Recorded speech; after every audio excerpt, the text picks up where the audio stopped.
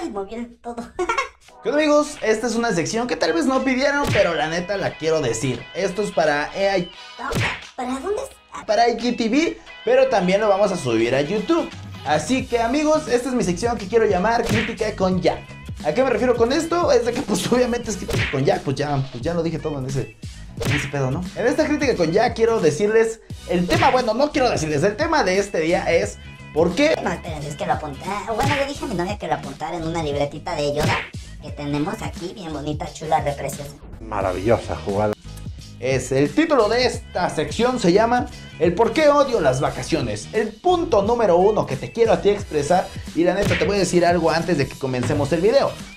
Feliz 2020, o sea, es, es- es algo primordial, tenemos que saludar, ¿no? Así, Pero también, antes de que comencemos el video, te quiero decir, si tú concuerdas conmigo, En algo de lo que estoy diciendo, el por qué odio las vacaciones. espero que lo comentes aquí abajo, compadre. O comadre, nunca se sabe quién te está viendo, ¿no? Así que coméntalo aquí abajo, ¿qué te pareció? Tal vez tú también des las vacaciones por ese tipo de cosas. O tal vez dices, ah, no manches que estás loco, hermano. Yo también tengo el mismo suceso y no pasa lo mismo. Así que, pues esperen, déjenles, les pongo, les veo por qué carajos odio las, las vacaciones. ¿no?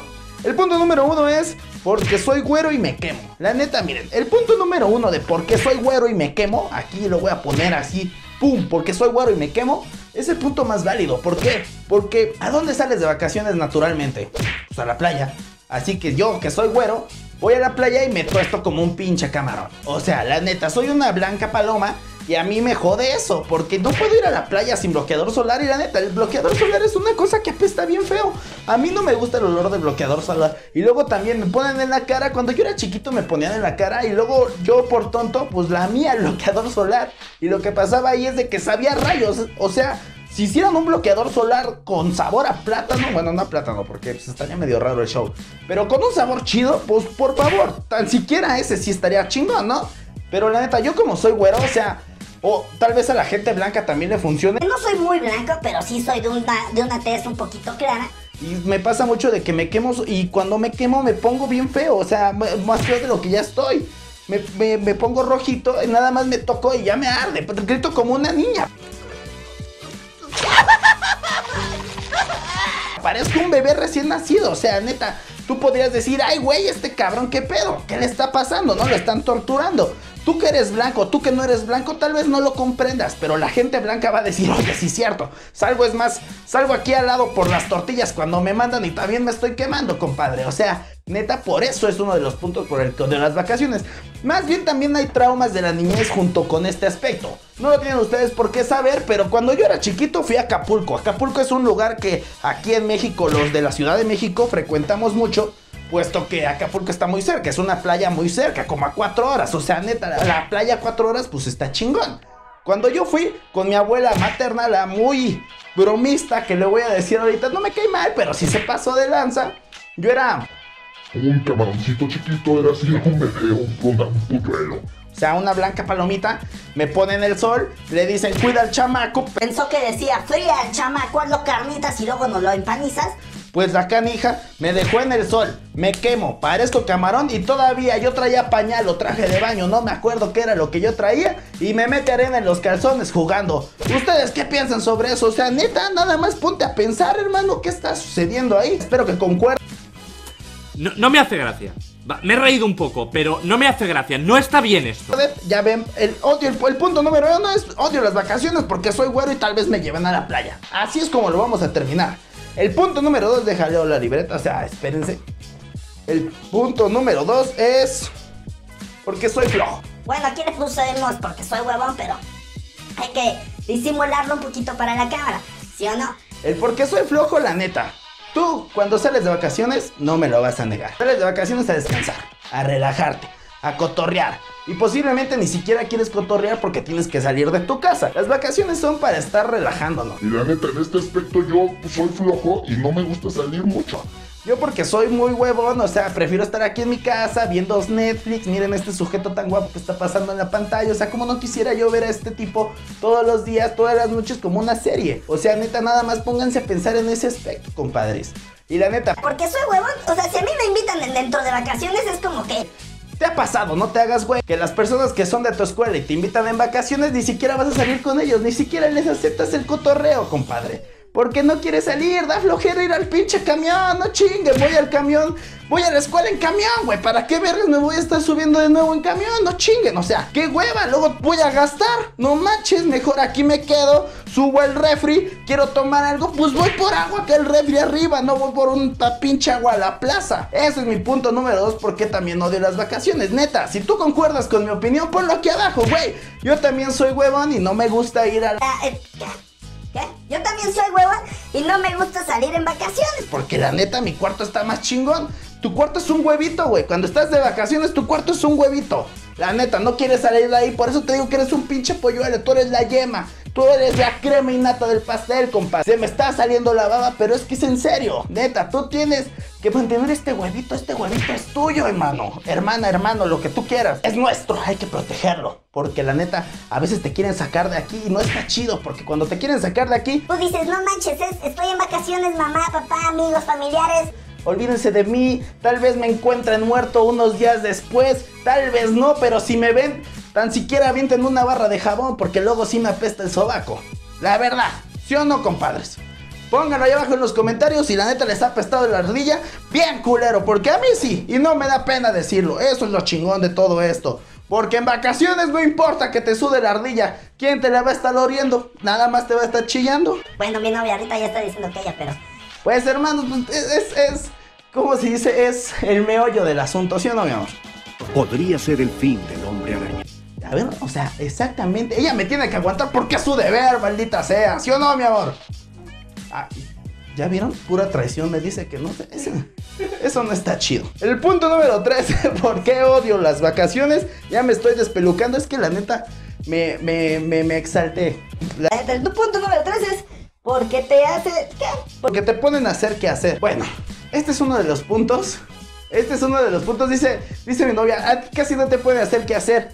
Bueno, que, que a ella sí la pueden hacer qué hacer. Yo no te pongo a hacer qué hacer. Tú solita te pones a hacer qué hacer. No me engañes. Bueno, a ella no le gusta el cuarto puerco. Pues yo soy un pinche marrano. ¿Qué quieres? Te, te juntaste con un pinche cerdito. No chingues. O sea, ¿qué? ¿Me vas a sacar del lodo? Eso ya no es amor, chingada madre. Porque el punto hacer güey. Tú estás saliendo del trabajo. Bueno, no te digo que en vacaciones del trabajo, pues tú, eres- tú pones a hacer qué hacer a tus hijos.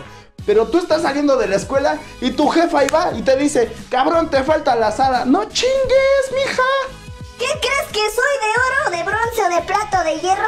También me deshago, cabrón. O sea, Dile así a tu jefa, no chingues, mija, qué pedo.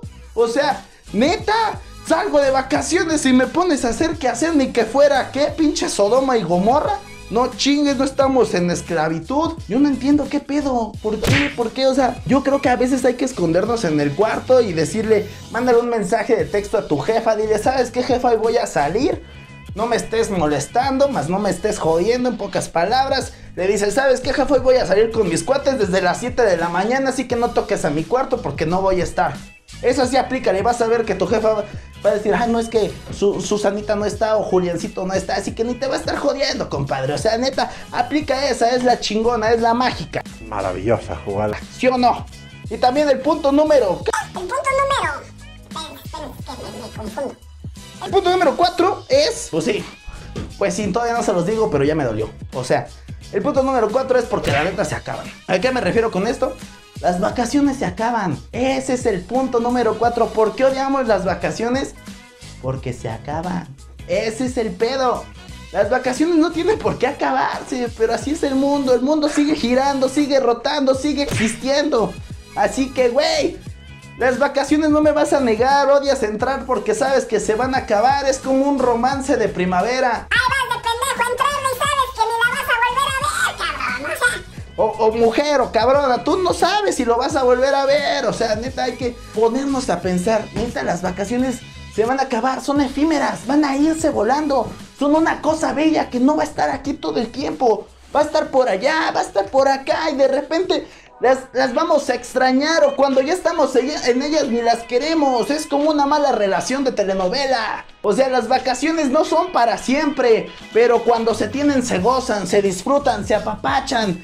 Se tienen ahí duro y dale, duro y dale, manteniéndolas todos los pinches días, diciendo, estoy de vacaciones, chingada madre, vamos a gozarlo chido. ¿Por qué odio las vacaciones? El punto primordial que era el último es porque se acaban las desgraciadas. Te da síndrome de abstinencia al final. ¿Por qué? Porque cuando tú ya las acabaste, Estás deseoso de más. Tú entras a la escuela y le dices a tu compadre, oye, güey, ¿cuánto faltan para las vacaciones? Y tu compadre te dice, no chingas, cabrón, acabamos de entrar. Si el maestro te escucha, no chingas, cabrón, acabamos de entrar. Si tu jefa te escucha, no chingas, si fuiste mi sirviente, cabrón, y lo vas a seguir siendo. No sé si en la, en la cámara se vea, pero yo escupo un chingo cuando hablo.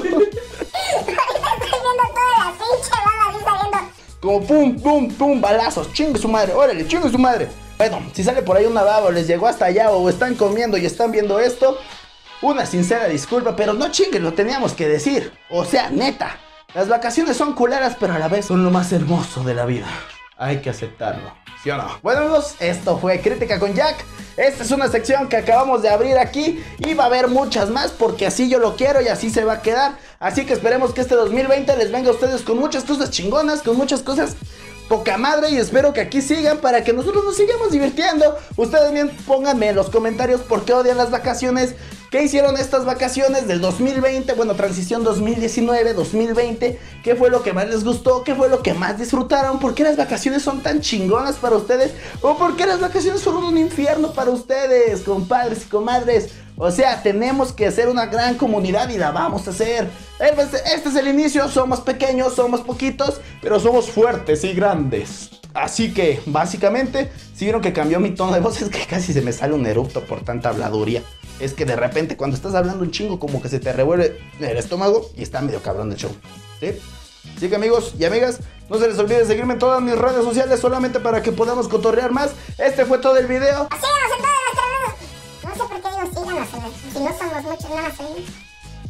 Bueno, la costumbre, ¿no? bueno, síganme en todas mis redes sociales, en Instagram, Facebook, Twitter, TikTok. Este, ¿cuál más hay, amor?